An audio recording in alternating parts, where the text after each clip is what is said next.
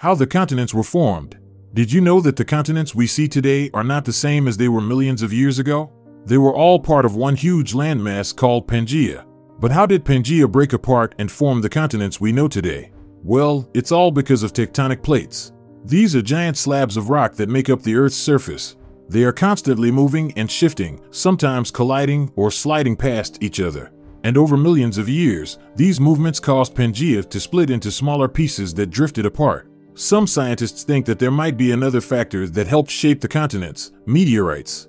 These are chunks of rock or metal that come from outer space and crash into the Earth. Some scientists think that these impacts might have melted and mixed the rocks on Earth's surface, creating new landforms. But this is still a theory that needs more research. So how do we know that Pangaea existed and that the continents moved? Well, we have a lot of evidence to support this theory. For example, if you look at a map, you can see that some continents look like they fit together, like South America and Africa. And if you look closer, you can find similar fossils and rocks on these continents, which means that they were once connected. Pangaea was not the only supercontinent in Earth's history. Scientists believe that there were several cycles of supercontinent formation and breakup over billions of years. That means that the continents might change again in the future. Thanks for watching. If you liked this video, please give it a thumbs up and subscribe to my channel for more content. And don't forget to leave a comment below and tell me what you think about this topic. I'll see you next time.